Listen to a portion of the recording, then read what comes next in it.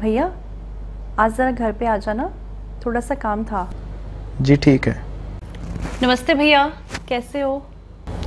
बस जी ठीक हूँ। घर पे सब कैसे हैं भैया? ठीक है जी। बस कल वो बड़े वाला लड़का चक्कर खा के बेहोश हो गया था। क्या हुआ उसे? ठीक है ना वो अब? हाँ जी बस दो दिन से कुछ खाया नहीं था तो कमज़ोरी आ गई थी। भैया खाना क्यों नहीं खा रहा वो? जी घर में आटा ख़त्म हो गया था। और किराने वाले ने भी अब उधार देने से मना कर दिया है।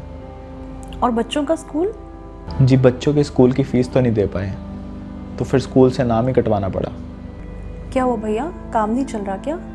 नहीं जी। तीन महीने हो गए हैं। कोई मजदूरी नहीं मिली।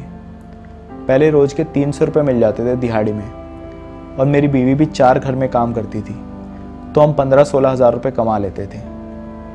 मुझे अब तीन महीने से कुछ काम ही नहीं मिला। और मेरी बीवी भी बस एक जगह काम करती है। आप जो पैसे दे देते हो उसी से अपना घर चला रहे हैं। भैया चार हज़ार में आपका खर्चा कैसे चल रहा होगा? बस जी खर्चा तो क्या चलना? पाँच हज़ार तो किराया ही है और तीन हज़ार दवाई में चले जाते हैं छोटे लड़के की। तीन महीने से किराया तो दिया नहीं लेकिन मकान मालिक अच्छा है तो वो अभी कुछ नहीं कह रहा।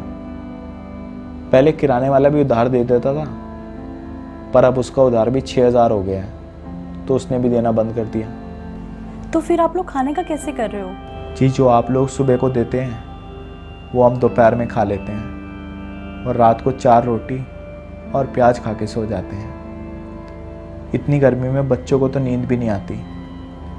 पंखा ख़राब हो रखा है पर अभी पैसे ही नहीं है सुधरवाने के। जैसे ही कोई मजदूरी मिलेगी फिर देखेंगे। आप मजदूरी कैसे ढूंढते हो फिर?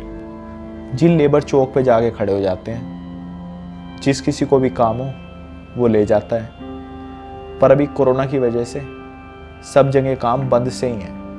सही में भैया भगवान ने बहुत बड़ी मुसीबत भेज दी है। जी जब उसने मुसीबत दी है तो वो लड़ने की ताकत भी देगा।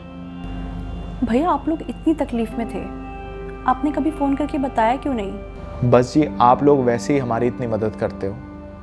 मैं आपको और परेशान नहीं करना चाहता था। एक काम करो भैया आप ये बीस हज़ार रुपये रखो और ये पंखा भी। वापस देने की ज़रूरत नहीं है। आप अपना हिसाब क्लियर करो और मैं आपको हर महीने राशन के पैसे भी भेज दूँगी। आपका बहुत बहुत धन्यवाद। लेकिन इसके बाद मुझे और पैसे नहीं चाहिएँगे। कोरोना थमा है। उम्मीद है कि अब कुछ काम मिलने लगेगा। मेरे जैसे बहुत गरीब लोग हैं। शायद उन्हें इन पैसों की ज़्यादा ज़रूरत होगी। ये कहानी काल्पनिक नहीं है, बल्कि हमारे घर में काम करने वाले लोगों की है।